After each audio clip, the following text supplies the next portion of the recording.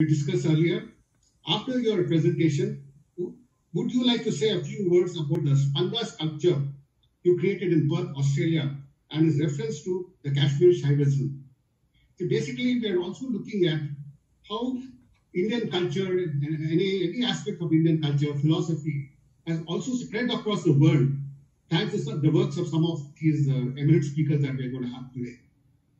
much for the invitation. Namaste, everyone. Uh, it's a real pleasure to be here with you all on this panel. Uh, and um, so, uh, as was mentioned, I'm going to be talking about uh, Nath, the Mahasiddha, and the sculpture which uh, which I created in his honor. Um, so, when I started to when I started to learn about the life and the teachings of of, uh, of uh, I began to realize at once how uh, significant he is in, in the history of yoga, um, and at the same time, how overlooked he is in contemporary yoga communities. So, the reason uh, why I started to create this sculpture, uh, and also the reason for giving this talk, is to bring his life to light, um, as well as to bring his enlightened nature to life. So, um, I'm speaking from the position of an artist, uh, and I'll be sharing some of the research and the introspection that I went through to capture the essence of this great yogi in sculptural form. So what we know about uh, Nath is that he lived uh, in Assam in around between sometime between the 10th, the, the 7th and the 10th century. Uh, in the Hatha Yoga Pradipika, uh, which is sort of the root text about Hatha Yoga, uh, he's praised as the very first yogi who taught the knowledge of Hatha Yoga. Um, in the Tantra Loka uh, by Abhinavagupta, he's honored as the father of yoga and also the founder of the Kaula tradition.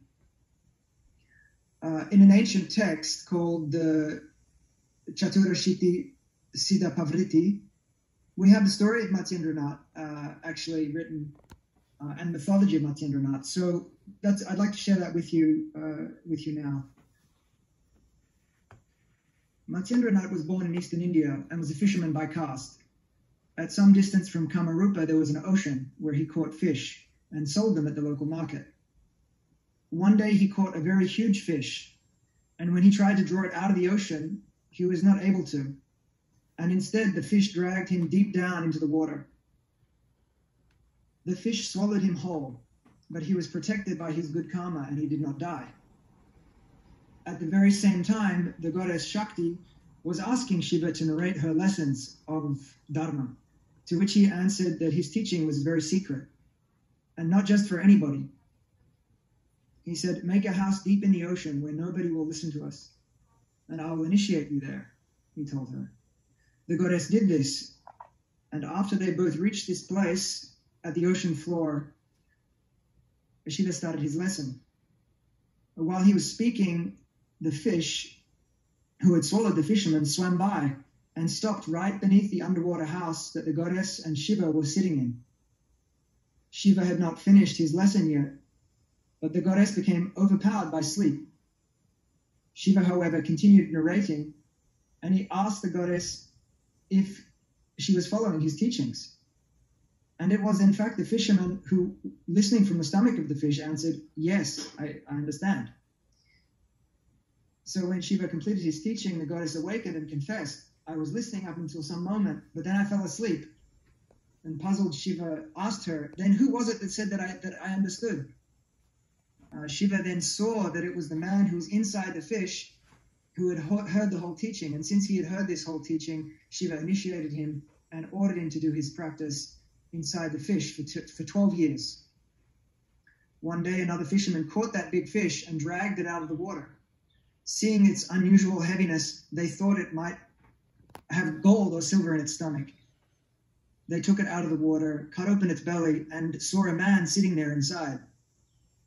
And shocked, the fisherman asked the man who he was. The fisherman asked the man who he was, and the man answered, I was a fisherman like you. This fish dragged me into the ocean and swallowed me whole for 12 years. Everyone was greatly astonished to see this event. And from that moment, he became famous and known as Matsyendranath, Lord of the Fishes. And people praised him, and immediately he started dancing. As he danced, his feet entered deep into the earth, as if it were wet, and he sang, Because of previously accumulated good karma and the power of chanting the sacred mantra, I have attained realization. He then spent 500 years performing various deeds to uplift humanity. So, this this is the mythology, the story uh, of Matsyendranath. Uh, and obviously, when we reflect on this story, uh, it's it's not to be taken literally. Um, this man uh, this man did not actually live inside a fish for 12 years. It's mytho- this is mythology, and it points to some deep truth. And um, there are many diff- there are different interpretations of this myth. For me, the most compelling interpretation that I've come to uh, is that the fish is is the vehicle of spiritual practice, uh, yoga and meditation, that which brings us into the most deepest, most sacred place within ourselves, to the oceanic depths of our own being. And so Nath, he heard the Lord speak in secret uh, and in a quiet place at the bottom of the ocean. Uh, and in this sense, uh, we can understand the myth is demonstrating that when we recede uh, into our inner being, into that secret place, uh, we can hear sacred knowledge. And uh, in Sanskrit, there is a beautiful word for this. It's shruti, that which is heard by revelation. Okay, so during my research, I studied many different representations of Nath, and there are many throughout history in different uh, traditions, uh, to get a sense of how he's been traditionally portrayed. Uh, this uh, ecstatic dance posture that you can see uh, here is characteristic of Mahasiddha representations throughout history. Um, it's a way of showing their, their unity with the force of life um, and their state of ultimate freedom. Uh, so that's a front view. I'll show you another view. Uh, so there's another interpretation, which I like to mention, of the myth of Matsyendranath, and that is that this, this swallowing into the belly of the fish is at once a macrocosmic map of the subtle body anatomy, um, as well as an explanation of a very specific yogic practice whereby the downward flow of prana uh, is actually reversed and moves back up the central channel. Um, it requires more explanation. It's quite fascinating. I won't go into it right now, but um, suffice to say that this in this posture um, in this posture, this posture is referred to as Bhujanga uh, Lalitam, the serpent's play. So in this posture, I've, I've attempted to give form to that, uh, to the arising of Kundalini, which is um, a goal and a potential result of the of the Hatha Yoga practice, uh, which Matsyendranath um, taught, and which we practice today too. Um, so you'll see that he's adorned with all the hallmarks of a Shaivite yogi. Uh, he has dreadlocks, body um, he has these thick uh, earrings pierced through the concha right here, which is characteristic of the Nath uh, lineage. Image, he has the Tripundra, this mark uh, of, of holy ash from the sacred fire, and it's traced along the forehead like that and along the arms, and it represents the threefold powers of, of Shiva. And for those who apply the mark, it's a reminder of the spiritual aims in life, um, the truth that the body and material things will someday just turn to ash, and uh, that liberation uh, in this life is a worthy goal. Uh, so uh, representations uh, such as, as this um, are important for us to have, not only uh, because we should know about the roots of yoga, uh, where these teachings come from and uh, where are the authentic, um, where is the authentic lineage, um, but also uh, also as a way to have reflected back to us. And I thought that it had a lot of uh, Shaivism in it, Kashmir Shaivism in that. Uh, would you like to elaborate on your thoughts behind it and what made you select that particular aspect of sculpture? Sure. Well, I'm very inspired by the teachings of Kashmir Shaivism. And um, when I saw that site, I could feel that there was a real potential there to create an icon which would completely open up uh, the, the, sort of the heart of the city.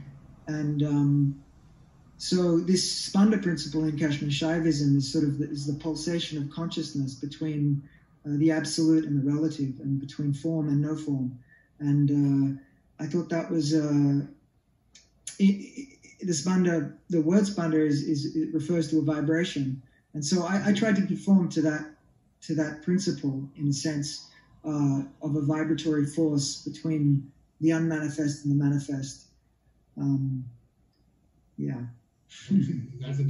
And then coming to one last point, you have lived in Australia, you have lived in the United States, and I'm sure you would have traveled to other parts of the world. What exactly do you think has the spread of uh, Indian philosophy, religious symbols spread across the world thanks to some of the work, work by artists like you? Uh, sorry, could you repeat the question? Now, now, you have been living in Australia and the United States, and I'm sure you would have traveled to a lot of other countries. Do you think the Indian philosophy, the religious symbols, and various other aspects of India have they been spreading across the Western world? And have they had any influence in those countries? Yes, I see that they are. Uh, they are very. Um, they're very pervasive and becoming more and more so, and especially with the spread of of uh, of yoga. I mean, this is one way that the teachings are spreading, and and and I'll add that it's also it's very important in that sense that we trace back the roots and that we're also faithful to the authentic traditions of yoga, um, and uh, because it's it's fast moving throughout the world for sure, and it's important for it to for us to retain its integrity and, and be be conscious of that. Sure. Um, I, I, love what you said, Sri Kumar, uh, about this, this quote that, that, I've heard before too about the architecture is frozen music. It's very beautiful and very evocative. Uh, and so, uh, for me, it's it's yeah, it's, it's interesting in terms of sculpture too because it's inherently static. Sculpture is inherently still. Um, and so the challenge for me in representing this this uh, this siddha, who is who's integrated his state of realization into the world to such a degree that he's uh, he's really become the laws of nature.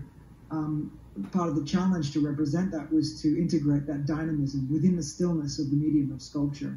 So um, uh, that was the challenge, and also the, the the interesting part of the part of trying to evoke uh, the, the, nature of this of this siddha to have both the element of stillness and and dynamism at the same time.